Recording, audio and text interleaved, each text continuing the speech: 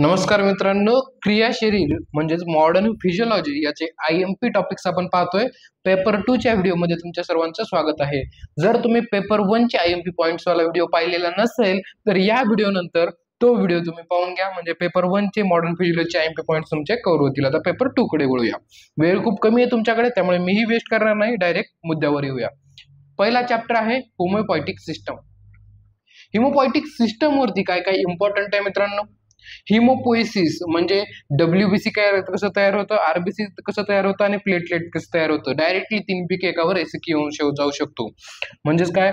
Erythropoiesis ल्युकोपोइसिस आणि हे platelet हे तयार कसं होतं त्याच्यासाठी ज्या सायकल्स आहेत त्या आपल्या कोर्समध्ये दिलेल्या तुमच्या नोट्समध्ये त्या सायकल तुम्हाला लक्षात ठेवायच्यात तो एसीक्यू साठी पॉईंट राहू शकतो. त्यानंतर functions and properties of blood blood blood आणि ब्लड प्लाझ्मा याचे ब्लड कसं तयार झालेलं आहे? त्याच्यामध्ये ब्लड सेल किती आहे? ब्लड प्लाझ्मा किती आहे? ब्लडचं कंटेंट काय? ब्लडचं पीएच काय?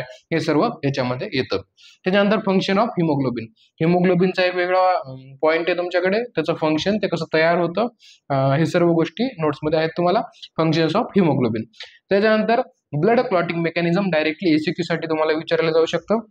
ह्याच्यामधले एन्झाईम रिॲक्शन पूर्ण करून जायचे. सर्व तेरा तेरा एन्झाईम लक्षात ठेवायची गरज नाही जे काही महत्वाचं महत्वाचं आहे ते लक्षात ठेवायचं.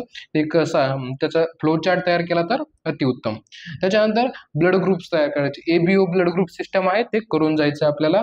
ए पॉझिटिव्ह बी पॉझिटिव्ह आणि त्याची एक केस आहे शेवटी जॉन्डिसवाली ती पण करून जायची. इरिथ्रो ब्लास्टिक अॅनिमिया अशी काहीतरी केस आहे ती पण करून जायची आहे. त्याच्यानंतर पुढे आहे इम्युनिटी सर इम्युनिटीवर काय काय इम्पॉर्टंट आहे?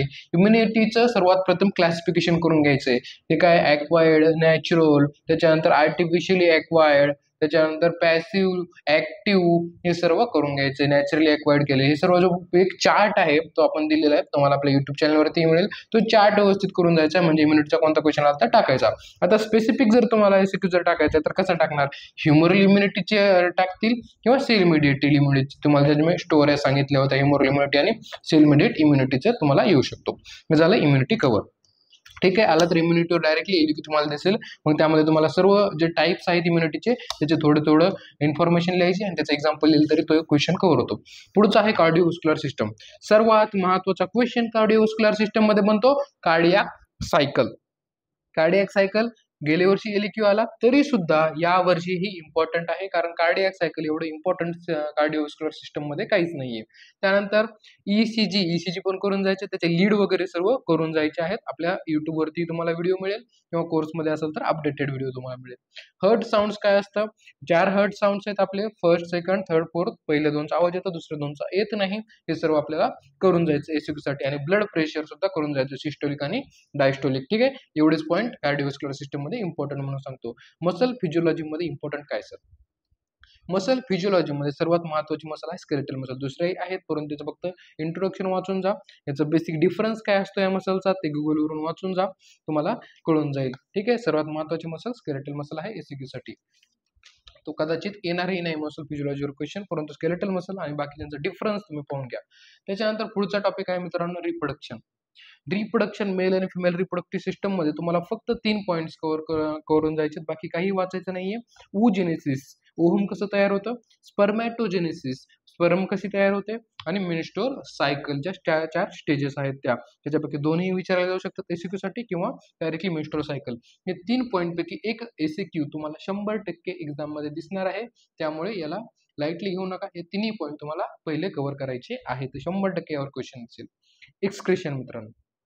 एक्सक्रिशन पाहायला पाहायला गेलं तर त्याच्यावरती एलिक्यू नाही आहे ब्ल्यू प्रिंटनुसार त्यामुळे याच्यामध्ये सर्वात जास्त महत्त्वाचं तुम्हाला डायरेक्टली सोपा क्वेश्चन द्यायचा तर फंक्शन्स ऑफ किडनी देऊ शकतात. मग नेफ्रॉनचे फंक्शन लिहायचे किडनी काय काम करतं? Urine filtration blood filtration formation of urine हे सर्व आपल्याला त्याच्यात लिहू शकतो आपण. गुगलवर टाकलं तुम्हाला कितीही फंक्शन येतील किडनीचे किंवा तुम्ही आता मेडिको आहात डॉक्टर आहात तुम्हाला किडनीचे फंक्शन येत नाही तर काय फायदा तुम्हाला डॉक्टर होऊन?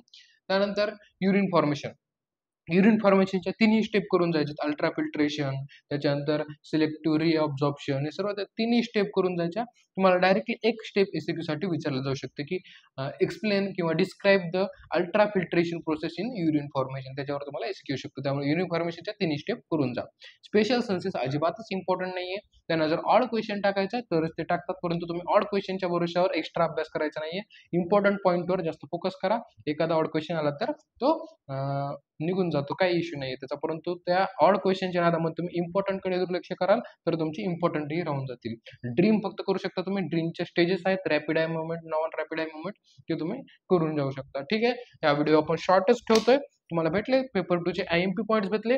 आता आपल्या चॅनलवरती पूर्णपणे सर्व चॅप्टर्सच्या ब्ल्यू प्रिंट अवेलेबल आहेत त्यानुसार तुम्हाला अभ्यास करायचा आहे. सर्व चॅप्टर्सचे आय एम पी तुम्हाला अवेलेबल आहेत. यानंतर तुम्हाला जे काही प्रॉब्लेम्स येते ते मला कमेंट बॉक्समध्ये सांगा. तुम्हाला अभ्यास करताना काय त्रास होतोय संस्कृत सॉल्व्ह करताना काय त्रास होतोय संस्कृतमध्ये काय प्रॉब्लेम येते तुम्हाला मी त्यावरती लगेच व्हिडिओ बनवेल की तुम्हाला जास्त जणांना काय प्रॉब्लेम येते किंवा अॅनाटॉमीचा अभ्यास करताना काय त्रास होतोय. जे काय तुमच्या आता परीक्षेजवळ आल्यानंतर मनामध्ये चालू असेल तुम्ही कमेंट बॉक्समध्ये सांगू शकता. आम्ही आमची टीम पूर्ण आमचं शंभर टक्के देण्याचा आम्ही ट्राय करू शकतो. व्हिडिओ आवडला असेल तर लाईक करा आणि ॲप डाउनलोड केले नसेल तर ॲप डाउनलोड करू शकता. हे सर्व इम्पॉर्टंट पॉईंट्स अॅनाटॉमीचे फिजिओलॉजीचे जर तुम्ही आतापर्यंत काहीही केलेलं नसेल तर आपल्या ॲपमधून तुम्ही कोर्स जॉईन करू शकता. फक्त चारशे नव्याण्णवला फिजिओलॉजी मॉडर्नचा आहे. तुम्ही जॉईन करून पूर्ण एम पी पॉईंट्स लेक्चर समजूनही घेऊ शकता. खूप छोटे छोटे लेक्चर्स आहेत दहा पंधरा दहा पंधरा मिनिटाचे आणि त्याच्या नोट्सही तुम्हाला मिळतील. ठीक आहे? आणि तुम्ही सेल्फ करत असाल तरी तुमच्यासाठी खूप खूप शुभेच्छा. तुम्ही सर्वजण पास होणार आहात. त्यामुळे टेन्शन घेऊन काहीच नाही जे मुलं अभ्यास करतात त्यांना टेन्शन येतं. ज्यांना टेन्शन येत नाही त्यांना समजायचं की त्यांनी अभ्यास केलेला नाहीये. त्यामुळे हे टेन्शन येणं सुद्धा चांगलंच असतं घाबरून जायची गरज नाही आपल्या हातामध्ये फक्त अभ्यास करणं आहे. आपण अभ्यास करत राहायचं. पेपर आपल्यासाठीच येतो. मुलांसाठी पेपर येतो. पेपरसाठी मुलं नसतात. समजतंय? त्यामुळे ज्यामध्ये मॅक्झिमम मुलं पास होतील असाच पेपर एम एच एस किंवा एन सी कडून काढला जातो. त्यामुळे तुम्ही व्यवस्थित सर्व हेडिंग हेडिंग जरी वाचून गेली तरी सुद्धा तुम्हाला शंभर टक्के पासिंग मिळणार आहे. त्यामुळे पासिंगची तर चिंता तुम्ही सोडूनच द्यायची आहे. जरी आतापर्यंत अभ्यास केलेला नव्हता तरी सुद्धा लवकर लवकर अभ्यास करायचा आहे. हेडिंग्स लक्षात ठेवा. मध्ये कंटेंट तुम्ही पेपरमध्ये टाकू शकता. तुम्ही अभ्यास करता नाही. अभ्यास करताना जो पॉईंट्स अभ्यास करता त्याच्या शॉर्ट नोट्समध्ये त्याच्या हेडिंग्स लिहून घ्या आणि त्या रिवाईज करत राहा. तुम्हाला हेडिंग पेपरमध्ये आठवल्यानंतर मधलं कंटेंट ॲटोमॅटिक रिकॉल होतं. संस्कृतसाठी एका पेजवरती सर्व संस्कृतची संधी त्याच्यानंतर समास टाईप लिहून काढा. काय काय असतं त्याच्यामध्ये? तुम्हाला खूप जास्त इझी जाईल पेपरमध्ये ठीक आहे? अजूनही काही तुम्हाला हेल्प हवी असेल आयुर्वेदा मराठी टीमकडून तुम्ही प्लीज कमेंट बॉक्समध्ये सांगू शकता. किंवा तुम्ही सेल्फ स्टडी करताय तर ऑल द बेस्ट आमची आयुर्वेदा मराठीची टीमकडून तुम्हाला खूप खूप शुभेच्छा. तुम्ही सर्व पासच होणार आहात. थँक्यू